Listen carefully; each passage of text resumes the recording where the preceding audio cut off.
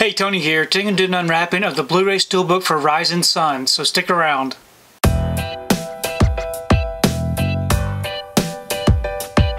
So today I wanted to take time to do an unwrapping of the Blu-ray Steelbook for Rising Sun. Here's the front, and here's the back.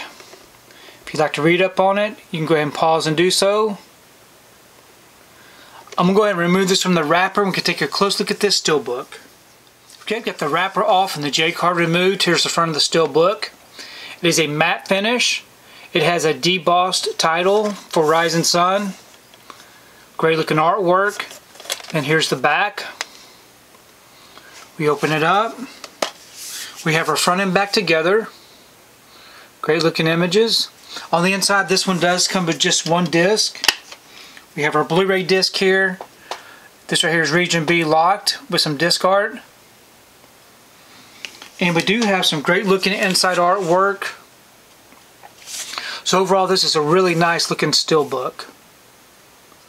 So I'm very happy to have Rising Sun in the collection. I've never had this film in the collection before. I'm definitely looking forward to checking it out. It does have Wesley Snipes and Sean Connery in it. So two great actors. So re really looking forward to this. Please leave me a comment below. Let me know what you think about this particular steelbook unwrapping. And also let me know if you've ever seen Rising Sun and what your thoughts are about it. Because I really do enjoy reading your comments. If you like what you saw here today, please give it a thumbs up and share the video. If you haven't subscribed to my channel, I really appreciate it if you would subscribe. If you do subscribe, please remember to hit that notification notification bell so that you can be notified every time I upload a new video. If you haven't found me on my social media accounts, I'm on Instagram, TikTok, and on X. And if you'd like to find out what I've been watching, you can find me over on Letterboxd. I do have links below.